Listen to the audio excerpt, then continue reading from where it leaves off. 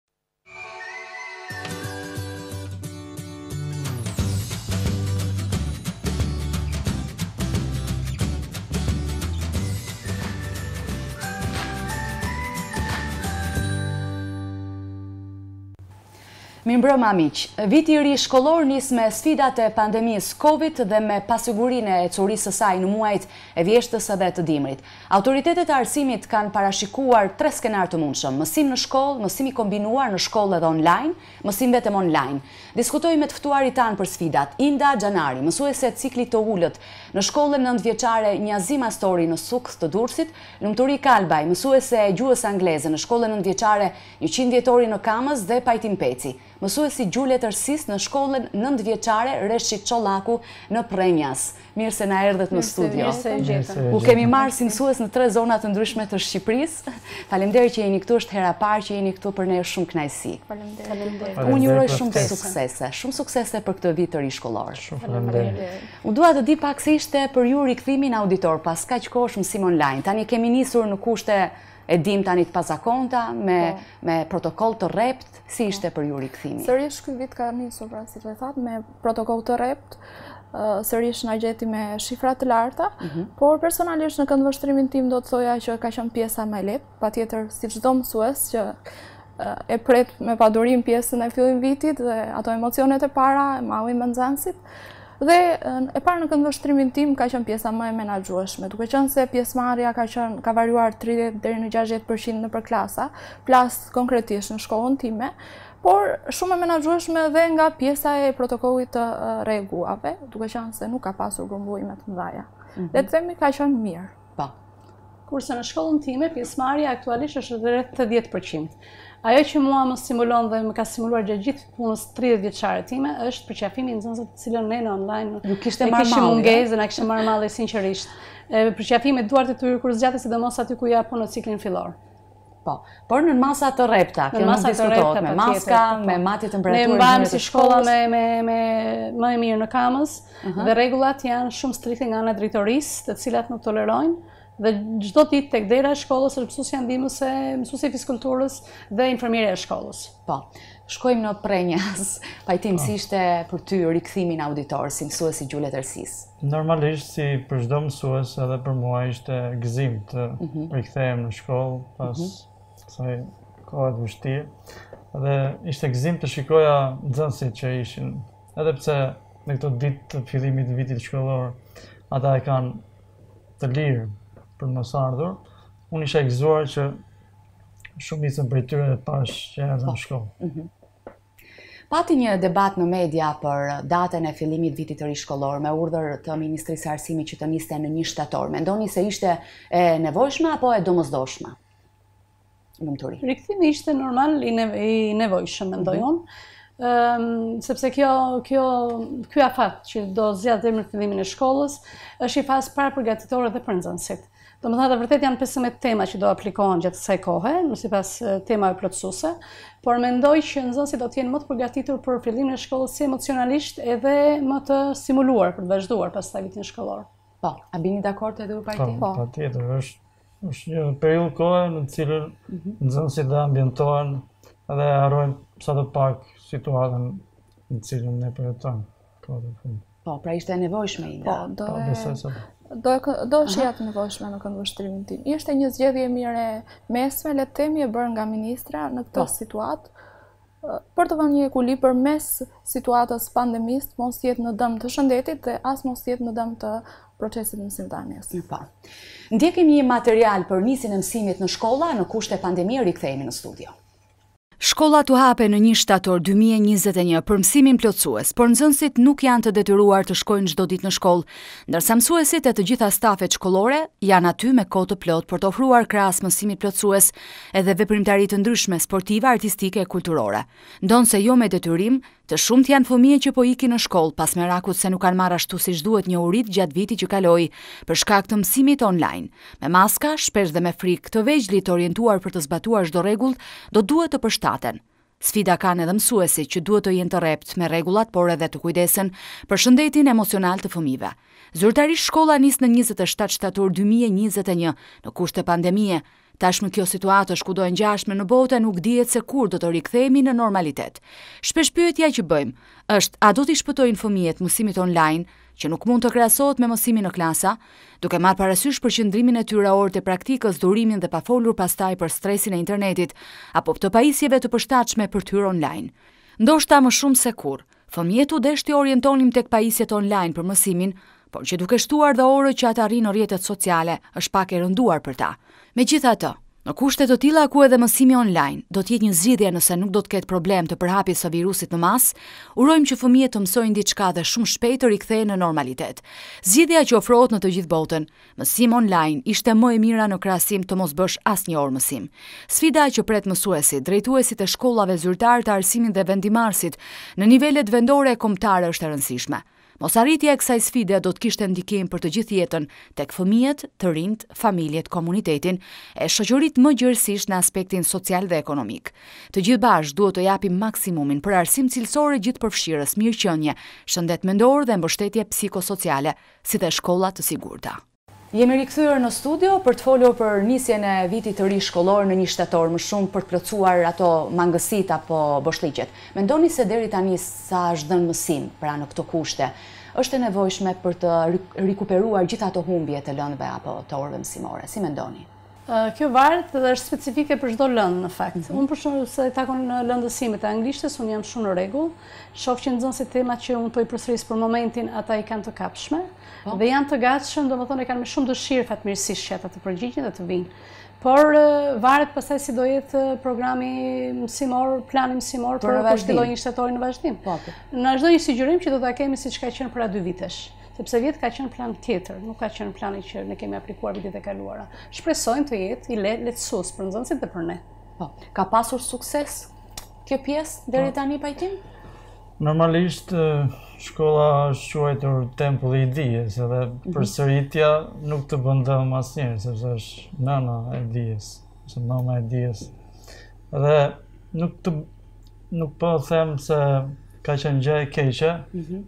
për shkak se vitin që kaluam gjërat më kryesore në këtë periudhë të shkurtër kohore do ishte mirë të përsëriteshin edhe do të do të ishte më pozitive për nxënësit, ashtu siç po bëhet. Uh, po, Inda, po vetë nxënësit kanë pasur interes këto ditë, domethënë për të mësuar edhe më shumë për të marrë ato njohuri që duket se kanë qenë të munguara, si ka qenë domethënë interesi i vetë nxënësve. Uh, Ka variuar në atë pjesën pjesëmarrëse të nxënësve dhe pa diskutim ka qenë dhe pjesa e interesit dhe mhm. e entuziazmit për t'iu rikthyer procesit mësimor. Ka pasur. Po.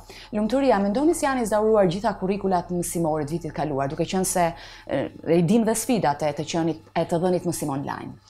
Në fillim, të tërë mësuesit ishin pak si konfuzë, të them të drejtën, për mhm. shkak se plani u bë i njëjtë për të gjithë mësuesit në Shqipëri. Aq sa kam dëgjuar koleget e mija, problem ka qenë matematika, që nga klasa e parë, sidomos, pasi temat duhet të kaloje nga një temë, në një temë të fundit për shembull, dhe nuk ishin të renditura temat ashtu siç janë sipas numrave. Ishte problem për lëndën e shqipes, ndërsa për sa më takon mua, nuk kam pasur asnjë problem. Unë ia kam dalë mbanë, kam realizuar 105 orë që i kam në secilën klasë dhe jam e kënaqur. Pajtim, çfarë mendimi keni për këtë? Është bërë një ezaurim i plotë? Po, besoj se po, është bërë realizimi i temave mësimore. Mm -hmm. Dhe pavarësisht online apo fizikisht, mësimi uh, që është përgjegjësi e çdo mësuesi, mendoj se është realizuar mm -hmm. në mënyrën më të mirë të mundshme. Po, po kush mendon se janë disa nga sfidat Pajtim? që ti ke pasur gjatë vitit të kaluar? Një nga sfidat besoj është që duhet menduar nëse do të kthehet sërish online është që pjesa e nxënësve që jetojnë nëpër zona të larta, në fshat për shembull, mhm. duhet të menduar që nuk është se kanë akses në internet. Po. Nuk duhet të mjaftohemi vetëm me ndihmën e e disa aparateve celular për shembull, po. edhe kaq, sepse duhet të pasur parasysh edhe familje të cilat janë në nevojë me ndihmë ekonomike, edhe nuk i kanë mundësinë për ta paguar atë internet që duhet po, për të bërë mësimin. Po sa e mundur ishte pjesëmarrja? Për shembull në shkollën në Prenjas ku ti jep mësim vitin e kaluar. A mm. patën mundësi gjithë nxënësit të ishin online si ka qenë përqindja? Në fakt, ne kemi qënë te pjesa që kemi dhënë mësimin në, në shkollë, sepse numri i nxënësve është i pakët. Pra ju keni qenë prezent në klasa. Kemi qenë pjesë e atij grupi shkollash që kanë zgjedhur të jenë në shkollë fizikisht. Edhe por në fillim të pandemisë kemi pas edhe ne atë periudhën e vështirë që mm -hmm. dhe duhet t'i arrinim nxënësit nëpërmjet telefonit. Edhe është ajo që thashë që sfidë ka qenë në arritja e nxënësve, të cilët nuk kishin mundësi të po, hynin në internet. Edhe, kemi përdorur mënyrën tjetër me anë të telefonit, duke po. telefonuar. Po, i drejtohem Mindës duke qënë se ti jep mësim te klasat e para. Po. Ka qënë vështërsia. Imagjino që supozohet që nxënësit e klasave të para të jenë në klasë, të kenë një komunikim drejtpërdrejt me mësuesin. Po, sfidat kanë qenë jashtëzakonisht të mëdha me mësimin online, faktikisht. Ne u gjendëm të papritur në një situatë të papritur dhe na erdhën ato udhëzimet e shpejta dhe papritur na u desh të, të fokusoheshim në këtë pjesë dhe të mund të bënim më të mirën. Por që e shoh të cunguar duke filluar që nga pjesa e procesit të mësimit, Aq më tepër në lëndët shkencore siç është matematika, po. shpjegimi, pasja e impaktit me nxënësit, reagimi i parë, mungesa e të parit të reaguarit aty dhe shumë e shumë gjëra peripeci që ka pasur në brendësi mësimi online në mësimdhënie, edhe në pjesën e kurrikulës personalisht do ta shifja të ezauruar në lëndët e mia, por e parë në një këndvështrim të gjerë do ta shifja të cunguar në masë, do ta shikoja të realizuar në masën 80-90 përqind, por jo po. një realizim 100 përqind, le të themi. Po, po, kjo... Mësimi online, përveç se ka qenë një sfidë për ne, në fakt ka qenë një provë. Pse ka qenë një provë, sepse për herë të parë, ne përballeshim me prindët e fëmijëve të cilët, sidomos në ciklin fillor, ata i ndihmonin shumë prindët, sepse nuk dinin të aplikonin atë që kërkonim në celular për shembull. Kështu që mm. prindët dashur pa dashur u bënë mësues të dytë. Është hera e parë që ata ditën dhe vlerat tona si mësues, sa të lodhshme kishin Po, dhe na kanë falenderuar, na kanë falenderuar shumë dhe kanë thënë sa të vështirë paskeni punën ju. Domethënë tani po ju besoj më së shumti. Ne ishim dhe ne plus nxënës, prindër dhe drejtoritë, të cilët kërkonin çdo javë të dërgonim tre video mësimore. Mhm. Ishte ndryshe nga mësimi që është në klasë, por një sfidë tjetër mendoj që ishte edhe minutazhi i orës së mësimit, sepse orët ishin 25 minutëshe. Turni i parë, turni i dytë do përsërisje të njëjta gjëra, pra u përballëm me ca gjëra që në fakt i arritëm dhe ia dolëm mbanë shumë mirë dhe me sukses. Po, por Lumturi nëse do të kishit një skenar tjetër për t'u rikthyer sërish online për mësimin, çfarë do doje ti që të të ndryshonte? Unë do doja për veten time të aplikoja platformën Zoom në fakt. Ata janë të vegjël, dhe është pak problem që t'i mbledhësh e të aplikosh këtë platformë, sepse është dhe mosha e tillë, po dhe s'kanë celular, i kanë prindërit e tyre celular, dhe na është çikë problem për ne te moshat e vogla që kemi. Sa me të rriturit është ndryshe. Po. Po, përveç pjesës që mësimi online bëri që nxënësit të shkputeshin nga shkolla edhe dihet edhe që duket si e cunguar ajo mësimdhënia deri diku pra deri në një farë përqindje. Ju jeni hasur, keni pasur edhe një sfidë tjetër përveç kësaj edhe anën emocionale të fëmijëve edhe sepse nuk ka qenë e lehtë për fëmijët që të kalojnë në këtë variant të marrjes së mësimeve. Online ata nga që s'ishin përballë nesh, ata ndiheshin më mirë, më të çlirët online. Nëse s'korrigjoje për momentin, kush e di sa herë të dërgonin mesazhin, na korrigjo detyrën, na korrigjo detyrën të lutem, domethënë kanë qenë më kurajozë me me këtë duke mos na pasur ne përballë. Dhe për mua për shembull e veçanta ka qenë që nxënësit që në klasë janë më të dobët, mhm. në mësimin online ata kanë qenë shumë të mirë dhe kjo më ka befasuar. Dhe vlerësimet gjithmonë ua vija excellent. Pra kanë qenë më aktivë online kanë qenë më aktivë online se sa në klasë. Po, po çfarë ndikonte, do të më të lirshëm në këtë lloj si të dobët, mbase në klasë duke folur të tjerët e ndiejnë veten më më mangët, edhe s'kanë kurajën që të flasin, kur shohin që të tjerët janë më mirë se sa këta. Mm -hmm. Sa online duke mos më pasur përballë, kanë qenë shumë aktivë. Kjo më ka më ka pëlqyer shumë. Po. Pajtim. Po. Është dhënë mundësia e barabartë gjithsecilit nga nxënësve. Po. Dhe ndoshta e ka bërë, ndoshta është pjesa më pozitive e kësaj gjëje. Po mua më shumë. Që secili nxënës që ndoshta s'ka qenë aq aktiv në shkollë, në pjesën e mësimdhënies me anë të telefonit dhe është aktivizuar. I ka bërë mirë. Po, Pajtim sa vështirësi ke pasur ti, sa ke punuar me nxënësit edhe për t'i qetësuar në këtë kohë frike, sepse tani fëmijët kuptohet se si ka qenë gjendja e tyre emocionale. Të vinë ashtu me maska edhe në një lloj situate të tillë. Po, patjetër që ka qenë pak e vështirë sepse fëmijët e vegjël dhe nxënësit që unë u kam dhënë mësim, u mhm. jap sërish, janë pak më të rritur, por maska na bezdis edhe ne të rriturve, jo më fëmijët që e e shpërqendrojnë sado pak në mësim. Por e kam parë se si sjellja e tyre ka ndryshuar dhe jam përpjekur që mësimin ta bëjë në formë loje e t'i përfshijë të gjithë, duke i gëzuar sado pak edhe duke larguar vëmendjen e tyre nga nga situata e pandemisë që ne jemi për të diskutuar gjëra të tjera që janë mhm. shumë të bukura ndoshta nëpërmjet letërsisë. Tuaj dhe rolin tuaj. Po. Linda po me me nxënësit e klasave të para, ti në rolin e në rolin e prindit për ato orë të mësuesit por edhe psikologës besoj. Patjetër. Dhe do të shtoja ka pasur dhe një reflektim në koston psikologjike dhe emocionale të fëmijëve. Ne kemi spikatur ndoshta raste të veçanta, rënie e humorit, rënie e veprimtarisë, rënie e aktivitetit në mësime. Kam spikatur edhe raste kur prindi vetë ka ardhur dhe ka më ka thënë që fëmija ka panik, ka ndjenja frike. Mhm. Dhe në momentet e para që ne përballemi patjetër përpiqemi të bëjmë atë pjesën e fillimit, pastaj kjo është kompetencë e psikologut dhe punonjësit social që nëpër shkolla janë të mirëvendosur dhe kalon në kompetencat e atij dhe një bashkëpunim i ndërsjellë na ka ndihmuar me njëri-tjetrin, domethënë. Po. Por që do s'do ka pasur dhe reflektim pjesa e pandemisë në mirëqenien sociale të fëmijëve. Po. Dhe atë psikologjike. Po aktualisht tani që ndërsa jeni në masa të rrepta, ju besoj uh, keni nisur zbatimin e një protokolli të rreptë. Në çfarë konsiston ky lloj protokolli? Protokolli konsiston në po të njëjtat masa që kanë qenë dhe vitin që shkoi, mbajtja me rigorozitet e maskave, distancimi social, ndarja në pjesën e fillimit zyrtar të shkollës në datën 27 parashikohet që të jetë një ndarje në grupe e klasës për të ruajtur distancimin social dhe dezinfektantët herë pas here në këtë po synojmë dhe po përpiqemi që dhe nxënësit të kemi rezultat. Cilat mendoni Lumturi që janë disa nga mënyrat më të mira për të nxitur këto kohë nxënësit për të pasur një arritje të mirë akademike? Në këto kushte të tilla siç keni nisur ju. Mënyra ka plot, t'ju them të drejtën, por varet nga secili mësues si e lë në qejf dhe çfarë specifikash përdor ai. Por vetja ime një ndër ato që është, është siç e tha dhe Pajtimi, është të përdorësh lojra të ndryshme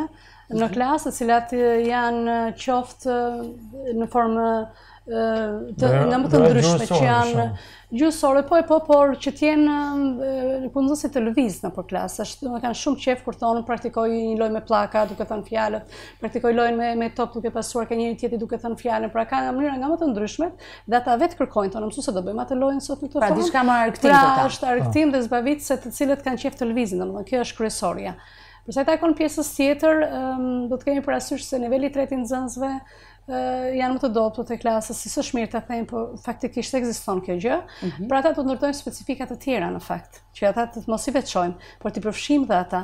Dhe ndërkohë, unë ngre në tabelë, po varet sipas rëndësisë, vë një nxënës të mirë, një nxënës të dobët, dhe i them ti do marrësh notën dhjetë nëse ma ndihmon dhe shokun, dhe kjo funksionon shumë shumë mirë. Kjo metodë është përdorur para 30 vitesh kur kam qenë vetë në këtë rol që e kemi aplikuar në klasë dhe ka shumë rezultat. Po.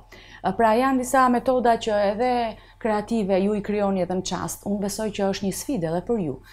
A ka pasur momente Pajtim kur vërtet gjatë kësaj kohës së pandemisë edhe online jeni lodhur edhe vetë edhe u është dashur shumë durim edhe për të komunikuar, por për të bërë edhe pjesën tuaj, se në fund të fundit njerëz jeni dhe ju dhe keni sfidat tuaja. Pjesa e videove ka qenë shumë sfidë.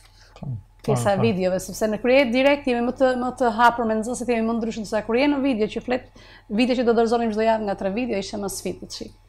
Kurse e para mhm. nga përvoja ime në qytetin tim ne u ndeshëm njëra pas tjetrës edhe me situatën e tërmetit dhe shumë shkolla ishin të në rindërtim e sipër, kanë kaluar shumë peripeci dhe ne na është dashur të alternojmë skenare të ndryshme njëkohësisht. Mhm. Ka qenë një periudhë nga fillimi i vitit shkollor, i vitit që shkoi shtatori deri në prill, ne na është dashur si mësues të punojmë edhe drejtpërdrejt, por edhe online, duke qenë se ishim në një shkollë tjetër. Dhe sfidat kanë qenë të shumta, ngarkesa ka qenë shumë, por një sfidë e pjesës së mësimit online besoj ka qenë bërja e detyrave mhm. të nxënësve, sepse ata mund t'i shmangen kësaj gjëje dhe thonë ndoshta është e vështirë për ta bërë. Edhe ngelet si detyrë e jona si mësues që të jemi nxitës për t'i bërë këto detyra më të kapshme nga ana e nxënësve dhe kujtoj një rast që ishte pak projekt artistik edhe duhet të përdornin nxënësit mjete rrethanore mm -hmm. edhe të bënin një lloj pikture apo diçka që ata kishin në mendje. Edhe teksa ndërhyra që ua shpjegova se si mund të bëhej, kuptuan dhe thanë, wow, sa e lehtë qenka kjo. Edhe ishin shumë të gëzuar për atë gjë që bënë. Po. Lumturi, për sa i përket mësimit online, nëse mund të rikthehet sërish, ne urojmë që të mos ndodhë kjo. A ka një rishikim të planeve mësimore si apo nuk jeni njoftuar nga drejtoritë arsimore lidhur me këtë? Jo, ka rishikim. Për këtë punojnë stafi, domethënë i drejtorisë, nëndrejtoreshat punojnë. Ka një sugjerim se si do veprohet kur të fillojë shkolla, por prapë janë me dy mendje të them të drejtën, sepse nuk e dinë as vetë se si do jetë ecuria në vazhdimësi.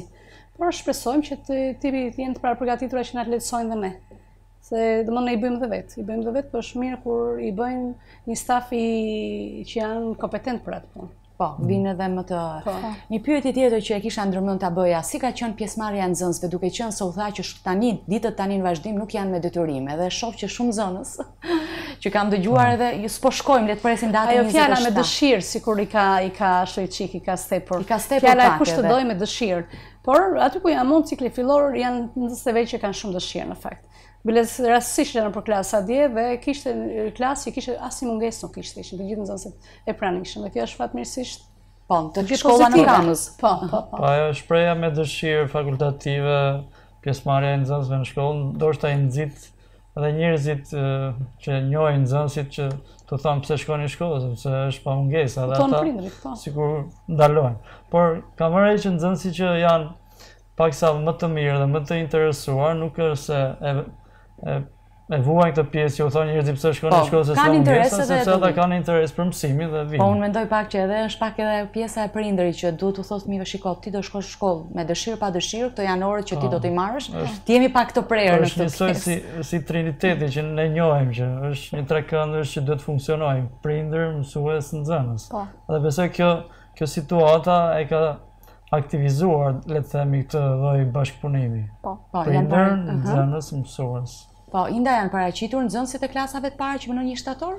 Jo, në fakt që kështë jo, sepse ne kemi punuar me klasat e mëparshme dhe nxënësit e klasave të para fillojnë zyrtarisht në 27 shtator. Po. Po.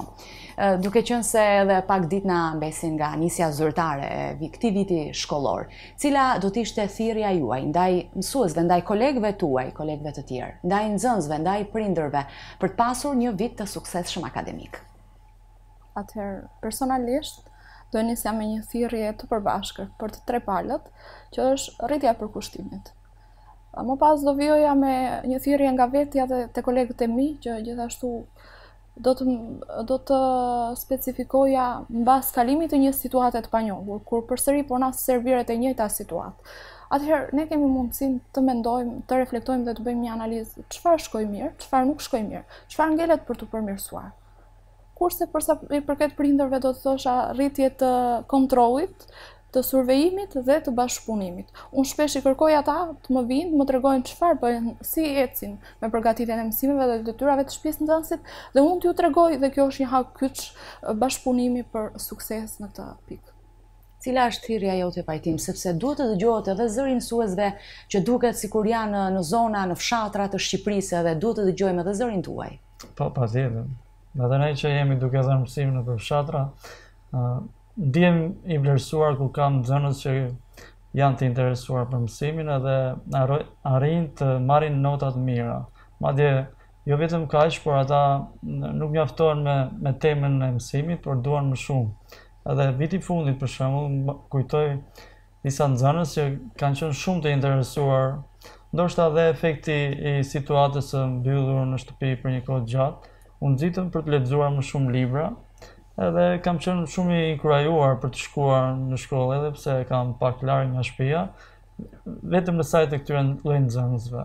Edhe do të thoja që një thirrje për prindërit, siç thatë dhe ju, është që njësoj si ajo shprehja që thotë Volteri që Puna, të përfshihesh në punë, të largon disa të këqija nga vetja, të largon stresin, mërzitjen edhe shumë gjëra të tjera pse jo. Por nxitja do ishte që bashkëpunimi që ndoshta dikur zysha mund ta kujtojë më mirë ka ekzistuar më shumë edhe më aktiv prindër mësues mhm. nxënës të të jetë ai i duhuri edhe nxënësit të vinë me me qëllime të sakta në shkollë për të mësuar në tempullin e dijes që është shkolla.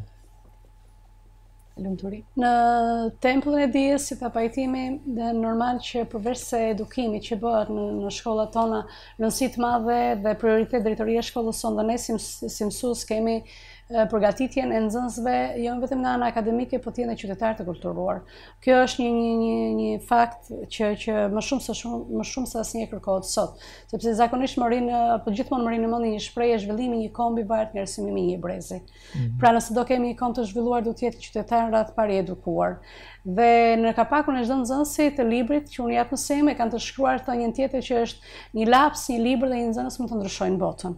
Edhe ata kur e shkruajnë nuk e kuptojnë, por kur e kuptojnë dhe sa bukur është mësus, sepse vetëm me një laps një libër dhe ne ndryshojmë botën. Mm -hmm. Kështu që prindrit dhe ne kemi këtë sfidën tjetër tani që ne po kalojmë. Por besoj që siç bëmë provë vitin e parë që ne ja dolëm mbanë me sukses, shpresoj që tashmë të dyja palët nuk jemi më në provë, por e kemi kaluar atë provë. Dhe kam idenë që do arrim të kemi sukses prapë, që që prindrit përkushtimin që ata e provuan për një vit online, do ta kenë përsëri besoj.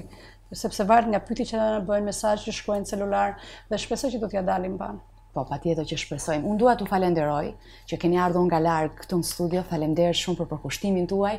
Ju uroj një sukses, sukses në këtë vit të ri shkollor edhe shumë bekime, shumë bekime. Shumë faleminderit. Faleminderit edhe për. Faleminderit, shumë faleminderit. Të gjitha institucionet arsimore kanë marrë masat për fillimin e këtij viti të ri të shkollor duke patur prioritet ruajtjen e shëndetit dhe kjo është një sfidë e jashtëzakonshme që kërkon bashkëpunim nga të gjithë. Suksese të gjithë mësuesve, nxënësve në këtë vit të ri shkollor, duke besuar se gjërat do të bashkëveprojnë për mirë. Rikthehemi pas pak.